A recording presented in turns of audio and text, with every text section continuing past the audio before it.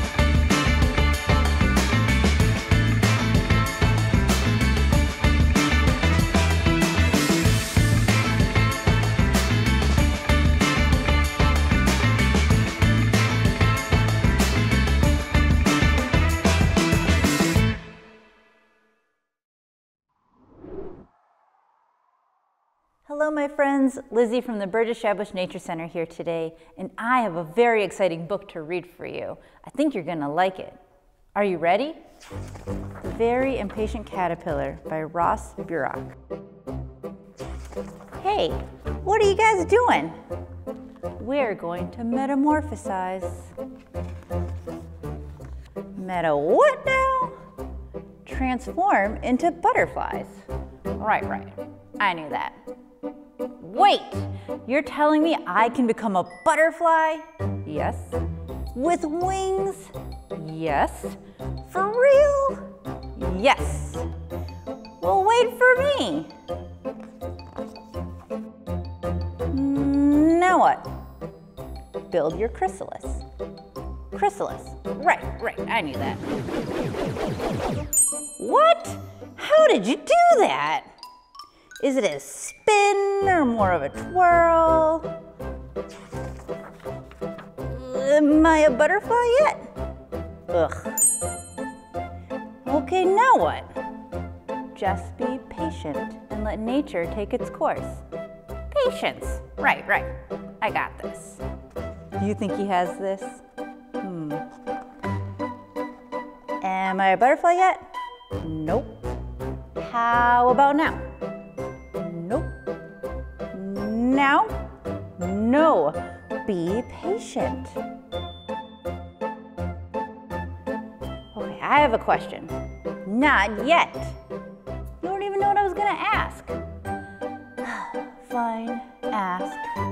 How's your day going? Also, am I a butterfly yet? No, just be patient.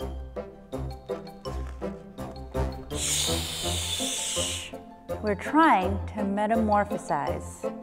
Okay, okay.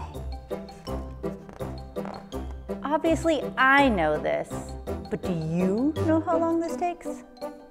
Two weeks. Right, right. Two weeks. Two weeks? Oh, what am I gonna do in here for two weeks? Can I get a comic book or something? What if I want a snack? Hello, two pizzas please. My address? A chrysalis. Click. Hello, hello. How long have I been in here? What if I need the bathroom? Anyone want to play a game? It's still day one. This is taking forever. That's it. I feel metamorphosized enough. Look out, world. Feast your eyes on this beautiful butterfly. How do I look? Transformed? Time to spread my wings and fly. Do you think he's gonna be able to fly? Let's find out. Wait! Flap, flap, flap, flap, flap. Where are my wings? Splat! Time for a new approach. okay, you can do this. You can be patient. Oh, who am I kidding? You are the little caterpillar that could. I'm the little caterpillar that couldn't. Get a grip. You can. I can't, I can't. You can. I can't.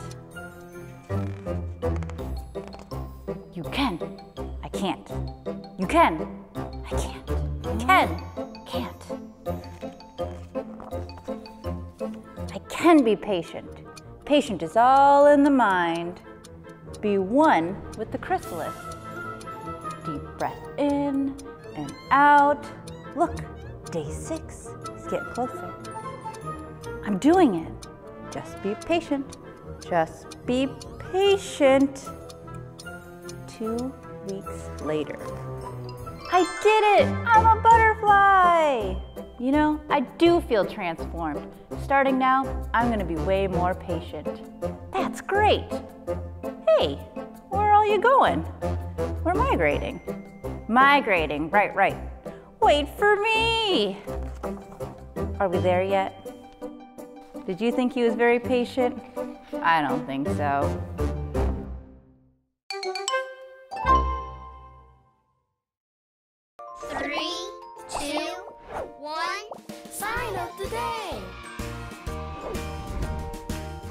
Everyone. Are you ready to do some signing with me today? Perfect. Now, for our sign today, we are actually going to be learning the sign for scarecrow. Scarecrow is actually going to be our craft today, so we're going to learn how to sign it. Do you think you're ready to do it? You are? All right, let's go ahead and grab our signing hands. And for this one, you're going to need both of them. So, our first part of this sign starts with us being a little, well, scared. Have you ever been scared before? Usually, when you're scared of something, you kind of jump back. And we may move our hands like this, right? Oh, kind of like we're surprised. So, for scarecrow, the first part of our sign is scared. So, our hands are gonna go up like this to the side. Sometimes I do this when my big brothers try to scare me. Do you ever go, do you think you can try? Here we go. Big face too, because we wanna show that we're scared. Can you do that? Ooh, that was a good one. Let's try it together. Are you ready? Wow, you're pretty scared, aren't you?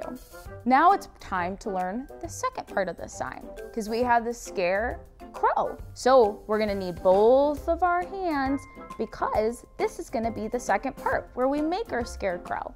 So we're gonna take one hand and make a V. You may also notice this is like when we do the peace sign, right? We're gonna flip it around and make the sign for V. Then we're gonna flip it over so they become our scarecrow legs, and this is our scarecrow's body. Then we're gonna take our other finger like it's the post and put it right behind. And then this is our second part of the sign for scarecrow. You think you can do that? So make your V and take your other pointer finger, flip your V over, and there you got it. Your scarecrow. You see that? Now let's put them both together. Let's get scared and make our scarecrow.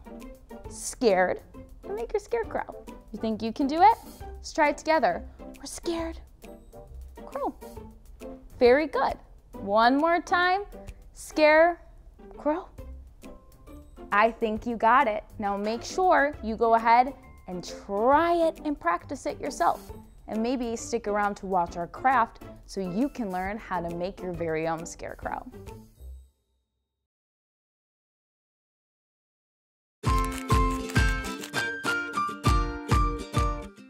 Hello everyone and welcome to Craft Corner. You may notice I have some things surrounding me like shirts, pants, even some corn husks here. The reason for that is we're going to be building our very own scarecrow. Have you ever seen a scarecrow before? They hang outside like this, right? Do you know what they're there for? They're to protect any fruits, vegetables, anything growing in our garden to scare away crows and other birds that might come up and try to sneak an apple when we're not watching. And believe me, I want my apples for my own, right? So we want to build a scarecrow. So we're going to build one together. You wanna help me? Perfect. Our first step is to start with our scarecrow's body. So you see, I have a shirt here, pretty close to the shirt I'm wearing because we're going to be building a scarecrow version of me. So we have our shirt here, and now we're going to stuff it. So the first thing I'm going to do is go down to the bottom of the sleeves. So I'm gonna take one sleeve, I'm gonna use some twine that has some wire in it. I'm gonna bunch it up here because I'm gonna be stuffing my scarecrow. You can use twine, yarn, anything you may have. And now I'm gonna do the other sleeve and you can use any clothes you have too. So I like the idea of using maybe something you don't use anymore or maybe something that doesn't fit or maybe has a hole in it, something you don't care about. And now we're going to stuff our scarecrow. You may have noticed that sometimes scarecrows have hay or straw inside of them, right? Well, this time we are actually going to be using plastic bags. That might be something that you have just laying around at home from a lot of grocery shopping. So we're going to reuse those today. So let me get out some of my plastic bags here. And I'm going to start by going into the sleeves. And you see how we blocked off the end? So none of those bags are gonna go through. And we're gonna stuff, stuff, stuff. So now we have the sleeves just about filled. Do you see that there? Now what I'm going to do is I'm gonna leave it just like this, put it to the side because now I'm going to do the same thing to the pants because our scarecrow needs some legs, right? So remember how we tied off the bottom of our, of our sleeves? We're gonna do the same thing to the bottom of our pants because we don't want our scarecrow falling apart. All right, so I'm gonna move our scarecrow's legs so I can add the shirt. Now how I'm going to add the shirt is through safety pinning it. Now you can use glue, you could even think about stapling, whatever is the easiest. But you might need a grown up for this part. So what I'm gonna do, like I said, is just safety pin it through. Gonna poke on through. And I'm gonna do it all the way around. All right, now that we've got our pants attached to our shirt, we're going to stuff the rest of our shirt. So we've got our body of our scarecrow built. Now it's time to build the head. You can use a foam ball. You may see here I have a big bouncy ball for us to use, even an old volleyball, anything that's round. So we're going to go ahead and put it on burlap. So this is just another material that you often see when it comes to scarecrows, but you can use whatever you have too. Again, get creative. So I'm going to go ahead and fold over our burlap so it covers our ball here because we don't want to have our scarecrow to have a blue head for this one, though yours could look pretty cool with the blue head. So now I'm going to just bunch it up like this. We want that extra material to hang over. because it's going to be kind of like the neck for a scarecrow. You see that?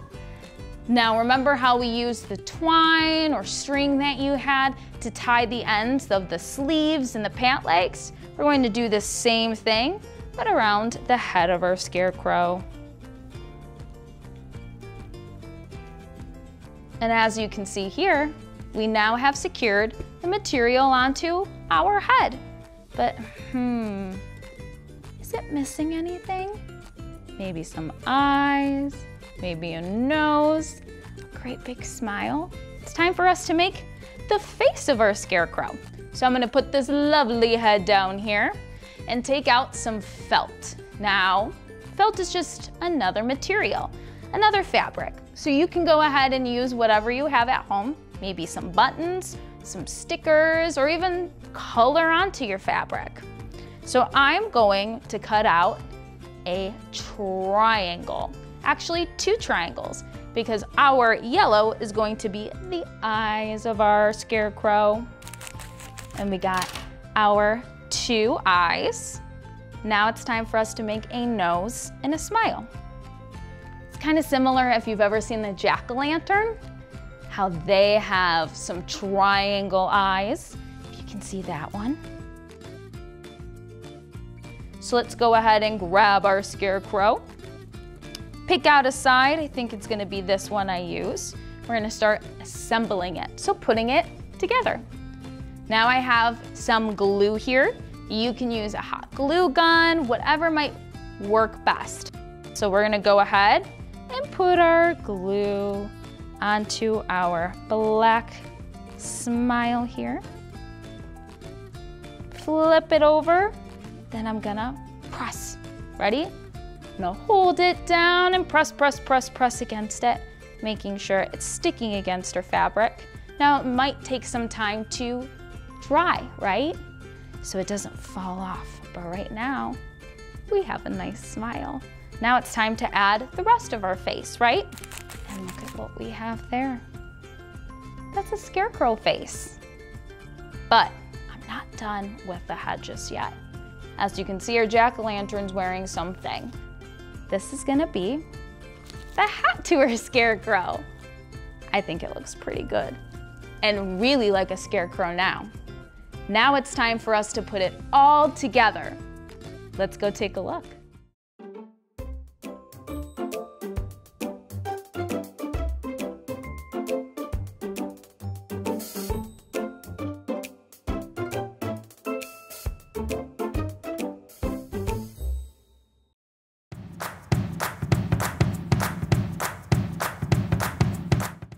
Everyone, Lizzie Schultz here from the Burgess Shadbush Nature Center, and I have an animal friend for you to meet today.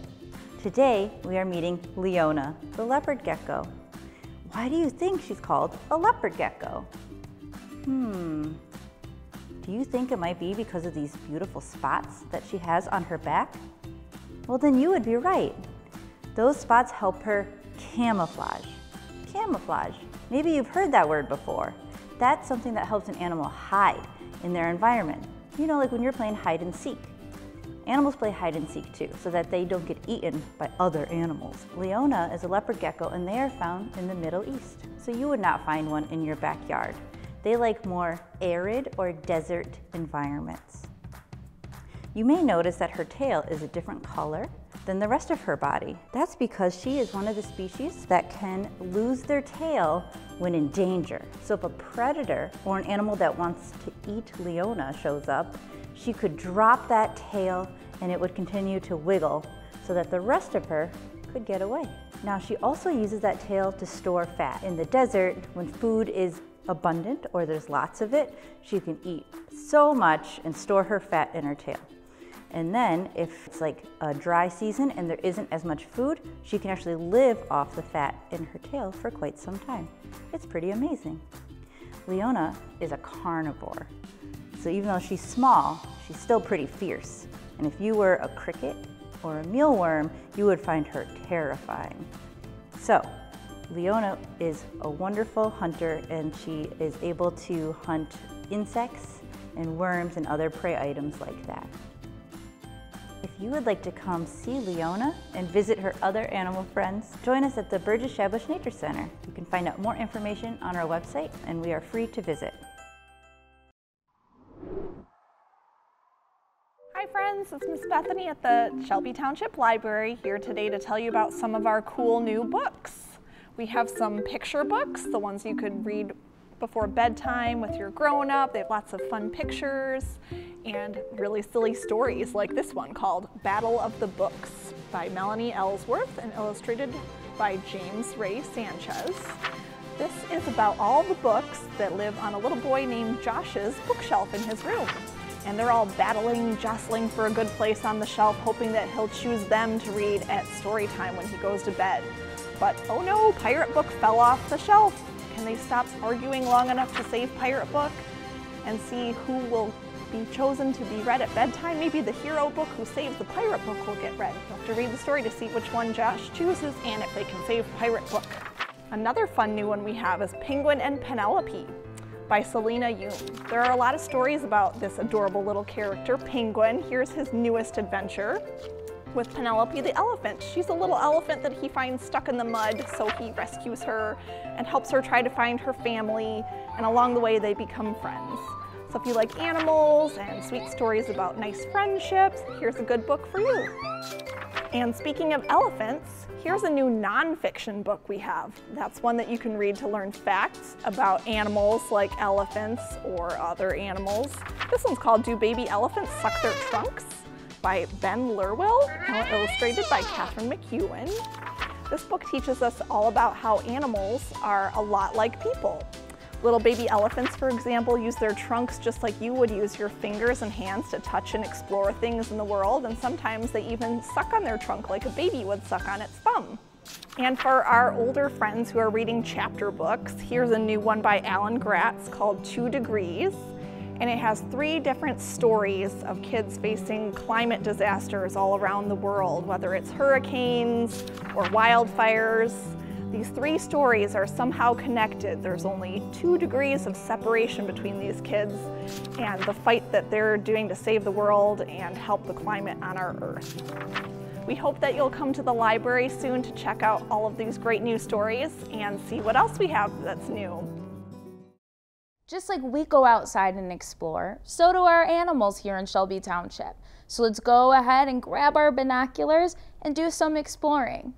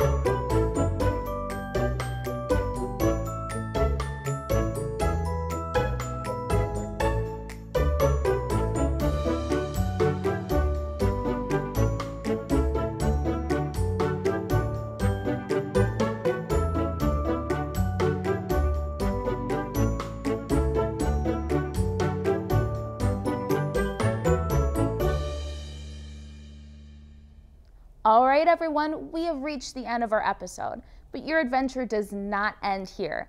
Go ahead and grab those binoculars and put on those hiking boots and go have some fun. So until next time, play fair, play safe, and play together. Bye bye.